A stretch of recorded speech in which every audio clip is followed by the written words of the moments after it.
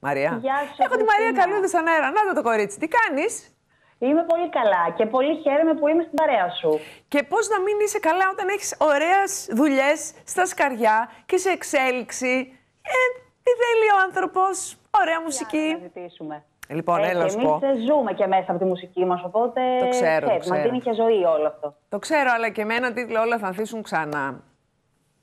Ξέρεις ότι δημιουργείς, το πιάνει τον άλλον κατευθείαν από τα μαλλιά. Του λες, έλα μαζί μου. Έλα μαζί μου εκεί που θα Ισχύει. ανθίσουν όλα ξανά. Ακολούθησέ με. Μην μένει εκεί στην κατήφια, στη, μι- στη μιζέρια, στη στεναχώρια. Έλα, έλα. Έχει ελπίδα. Έχεις, έχεις απόλυτο δίκιο. Αυτό είναι ένα τραγούδι που έγραψε στίχους και μουσική ο Νικόλας Λιβαδίτης. Δημιουργήθηκε μέσα στην συνθήκη της καραντίνας και στην ουσία ε, ήταν ένα κάλεσμα, ας πούμε, μια προσευχή για όλα αυτά που θέλουμε να συμβούν, που θέλαμε τότε. Αλλά ταυτόχρονα είχε και έναν δυναμισμό, γιατί ξέραμε ότι θα έρθει αυτό που τόσο περιμένουμε. Ή ελπίζαμε. Οπότε- Δεν ξέραμε, Μαρία, δεν ξέραμε. ναι. Μέσα μας, μάλλον θέλαμε να, να πείσουμε τους εαυτούς μας ότι θα έρθει αυτό. Ε, Ήταν λίγο καθησυχαστικό. Είναι αυτό το Οπότε- κάντε υπομονή. Ε, και ο Και ουρανός ο θα ουρανός γίνει θα πιο γίνει γαλανός. Πιο γαλανός. Ακριβώς. Οπότε, στην ουσία αυτό το τραγούδι φωτίζει όλα αυτά τα απλά, μικρά, καθημερινά πράγματα που έπρεπε να περάσουμε από όλη αυτή τη διαδρομή για να καταλάβουμε πόσο σπουδαία και, και σημαντικά είναι. Πώς την πέρασες με αυτή την, την περίοδο; Κοίταξε, στην αρχή, όπως ε, λίγο πολύ όλοι είπαμε, αχ, τι ωραία, έχουμε χρόνο, αυτό το, ξέρεις, το μοναδικό δώρο που μας λείπει όλη την άλλη περίοδο και το ευχαριστήθηκα. Αλλά όσο περνούσε ο καιρός, άρχισα να πιέζομαι, νομίζω όπως όλοι, άρχισα να νιώθω εγκλωβισμένη, ε, γιατί και ο δικός μας κλάδος πέρασε πολύ δύσκολα έτσι κι αλλιώς λόγω της καραντίνας. Δηλαδή μιλάμε ότι ήταν εντελώς ξεχασμένοι οι καλλιτέχνες, δυστυχώς από τους κρατικούς φορείς δεν μπορούσαν να δουλέψουν, δεν μπορούσαμε να δουλέψουμε. Οπότε αυτό από μόνο του λειτουργήσε πολύ πιεστικά. Παρ' όλα αυτά όμως ήταν και μια περίοδος που μπορέσαμε να δημιουργήσουμε.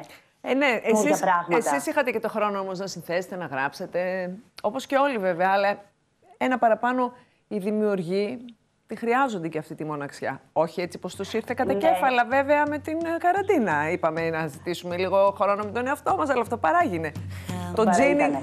βαρ, βαριακούει το τζίνι και είπε, αν θέλετε χρόνο, πάρτε για άλλα δύο χρόνια μέσα. Κάντε τη Κοίταξε, ζωή σας. νομίζω, νομίζω ότι οι, οι δημιουργοί, δηλαδή οι καλλιτέχνες που γράφουν στίχους και μουσική πάντα αφουγκράζονται τε- την κοινωνία και το τι συμβαινει Οπότε νομίζω ότι λειτουργήσε με έναν τρόπο σαν έτσι, μια όθηση έμπνευσης για εκείνους. Άλλοι μπήκαν στο στούντιο, άλλοι γράψανε στίχους μουσική για project που θα κυκλοφορήσουν. Πάντως όλοι κάπως κινητοποιήθηκαν. Πού έγιναν τα γυρίσματα του βίντεο κλιπ; Έγιναν στην, ε, στην Αθήνα, στο Λικαβιτό, στο Πάρκο Ελευθερίας που είναι δίπλα από το Μέγαρο Μουσική και σε μια πολύ ωραία ταράτσα. Αυτό βλέπω, βλέπω ε, σαν λόφος είναι. Ναι, αυτός ο λόφος είναι στο κέντρο της Αθήνας, ε, δίπλα στο Μέγαρο Μουσικής. Δεν έχω βρεθεί. Φυσικά εκεί πάνω. δεν έχει τη θέα που έχει το Μέγαρο Μουσικής Θεσσαλονίκης. Μην ανησυχείς. Που έχει ο- Τη Εντάξει. συναγωνίζεται, τη βλέπω. Τη συναγωνίζεται μια χαρά. δεν ε, είναι διαφορετικά τα. Μ, Ε, πώς το λένε, τα facilities που προσφέρει το ένα και το άλλο. Ισχύει. Αλλά Ε, κοίταξε, εγώ επειδή είμαι Θεσσαλονικιά, πάντα τη Θεσσαλονίκη στο μυαλό μου δεν την συναγωνίζεται, δεν την ανταγωνίζεται τίποτα. τίποτα. Είναι αλήθεια αυτό. Τίποτα. Και σαν τη Χαλκιδική δεν έχει που λέγατε και πριν. Μπράβο! Α, την άκουσες Έτσι. και εσύ από την αρχή την εκπομπή. Βέβαια. Ε, όμως, μ' άρεσε και αυτή η κατηφόρα που βλέπω, δηλαδή που είσαι ψηλά σε ένα ε, τόπο... Όχι χλωερό, γιατί χλωερό είναι από τη μία, αλλά δεν είναι αυτό που εννοούμε όταν λέμε τόπο χλωερό. Γιατί βλέπω τον καζόν και βλέπω αφιψηλού την Αθήνα, δηλαδή, και δεν καταλαβαίνω και λίγο που είμαι. αλλά Αυτό, βλέπω και Χριστίνα αστικό. μου, Το βίντεο, Ναι. Αυτό το βίντεο το επιμελήθηκε ο Τόνι Κρίς, είναι ένας ε, νεαρός σε ηλικία καλλιτέχνης που όμως έχει διαγράψει μια πολύ αξιόλογη πορεία ως τώρα και με, με πολύ έτσι, εντυπωσιακές συνεργασίες. Εκείνος επέλεξε πώς θέλει να οπτικοποιήσει το τραγούδι και μάλιστα μου είπε ότι θα κάνω το βίντεο ε, με βάση το, το πώς ένιωσα όταν το άκουσα. Και τι ένιωσα, τι μου ήρθαν στο μυαλό. Μου ήρθαν στο μυαλό άνθρωποι που επανενώνονται που ξαναβρίσκουν τη, την παρέα τους, ξαναβρίσκουν τον εαυτό τους και αρχίζουν και κάνουν πράγματα τα οποία αγαπούν να κάνουν στην καθημερινότητά τους που τους κάνουν χαρούμενους και τους τροφοδοτούν με ενέργεια και, και φως. Οπότε αυτό προσπάθησε να, να αναδείξει μέσα από το βίντεο. Δεν μου λες, τους είδε να τσακώνονται και σε εκείνο το πλάνο που είναι ασπρόμαυρο. Ναι. Ήταν εκεί που λίγο αποσταθεροποιήθηκαν και χάσανε τα, το κέντρο τους, αλλά Ακριβώς, μετά ξαναεπέστρεψαν. Μπράβο, βρε Χριστίνα, κατάλαβες ακριβώς το, το νόημα του βίντεο. Μου πήρε μερικά χρόνια για να καταλαβαίνω. Μην νομίζω ότι τα πιάνω όλα από την αρχή. Αλλά τώρα νομίζω ότι Δεν πέφτω φαίνεται. μέσα. Όχι. Είναι θέμα εκπαίδευσης. Είναι θέμα εκπαίδευσης. Μάλιστα. Άρα όντως περιλαμβάνει και όλο αυτό το κομμάτι.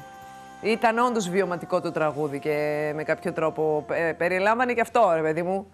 Που το Κοίταξε, ζήσαμε το- το- με τις εντάσεις μας, τραβήξαμε τα ζόρια μας. Υπερπηδήσαμε τα εμπόδια Μπράβο. και είμαστε ακόμα εδώ. Και είμαστε ακόμα εδώ. Και γιατί να μην είμαστε εδώ, ε; για πες μου τώρα, γιατί να μην είμαστε Βερμαρία, αφού έχουμε ωραία... Όχι. Έχουμε ωραία... Κοίταξε. Υπάρχει ωραία ορμή μέσα μας, πώς να σου το πω. Και όλα Και θα, Χριστίνα, θα αρχίσουν θέλουμε, δεν ξανά. θέλουμε, αφού είμαστε εδώ, πρέπει να το ευχαριστηθούμε και να, να, να ζήσουμε όπως θέλουμε, όπως επιθυμούμε, να κυνηγάμε τα όνειρά μας. Αυτό νομίζω είναι το, το βασικότερο. Μπράβο μας. Και μπράβο μας και η μαγιά μας. Ε, Έτσι, μαζί σου. δεν μου λες τώρα, πες μου, εσύ τι κάνεις το καλοκαίρι, πού βρίσκεσαι; Λοιπόν, κάνουμε πρόβες, ξεκινάμε μια ε, σειρά από εμφανίσεις με ε, αρχή την Αθήνα. Θα παίξουμε 9 Σεπτέμβρη στο Μουσικό Κουτί που βρίσκεται στο κέντρο της Αθήνας. Σε Ωραία. μια επίσης πολύ ωραία ταράτσα. Ε, και ελπίζω ότι μετά θα έχουμε τη δυνατότητα να ταξιδέψουμε πάλι σε όλη την Ελλάδα. Γιατί τα τελευταία χρόνια κάνουμε περιοδία και αγαπάμε πάρα πολύ το ότι πηγαίνουμε σε διαφορετικές πόλεις και συναντάμε ανθρώπους για πρώτη φορά και η μουσική μας ενώνει. Οπότε εύχομαι να έρθουμε ξανά στη θεσσαλονικη Τελευταία φορά είχαμε έρθει πριν την καραντίνα, ξέρεις, οπότε το έχω πολύ μακριά στο μυαλό μου. Ε, και εύχομαι να συναντηθούμε και από κοντά. Ελπίζω να, κυκλο... να μπορέσω να κυκλοφορήσω έναν ολοκληρωμένο δίσκο, ε, που τώρα αισθάνομαι κι εγώ έτσι έτοιμη και ότι καλλιτεχνικά ξέρω ποιο θέλω να είναι το αποτύπωμά μου. Είδες που ακόμα Οπότε το λέμε γενικώς- δίσκο; Δεν είναι ε, εκπληκτικό το πώς έχει παραμείνει ο δίκιο. δίσκος και δεν θα ξεχαστεί ποτέ. Είναι, πιο, είναι μια έννοια πιο ολοκληρωμένη νομίζω. Ο Ε, και πιο δίσκος. ποιοτική. Ήταν και ένα υλικό πιο ποιοτικό από μόνο του έτσι κι αλλιώς. Ο ήχος δηλαδή είχε άλλη ποιότητα. Μμμ. Αλλά εντάξει, προσαρμοζόμαστε όμως, Χριστίνα μου, στη, στην εποχή, γιατί τα πράγματα εξελίσσονται και οφείλουμε να, να ακολουθούμε τη ροή των πραγμάτων. Έπεται συνέχεια από ό,τι καταλαβαίνω. Έτσι, ακριβώς.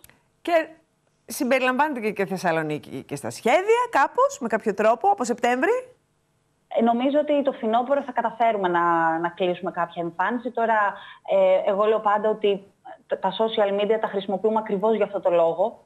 Μεγάλη για να υπόθεση. επικοινωνούμε τη δουλειά μας. Οπότε όποιος θέλει να μας βρει, να με βρει ε, πατώ- πληκτρολογώντας Μαρία Καλούδη και να είναι σε μια επικοινωνία, θα χαρώ πάρα πολύ. Σε περιμένω και στο στούντιο. Στα καθέκαστα εδώ από Σεπτέμβριο, ξέρεις. Μετά, Ξέρω, ξέρω ότι έχετε πάντα μια ανοιχτή πόρτα. Εδώ, και ευχαριστούμε εδώ. πολύ. Εδώ, εδώ Ευχαριστούμε έχουμε. Πολύ. Εδώ είναι, τα χυμαδιά μας είναι εδώ, εδώ θα ξεχειμονιάσουμε. Οπότε είσαι, πολύ, είσαι very welcome here. Ευχαριστώ πάρα πάρα πολύ. Καλή σου μέρα. Να είστε καλά, καλό καλοκαίρι σε όλους.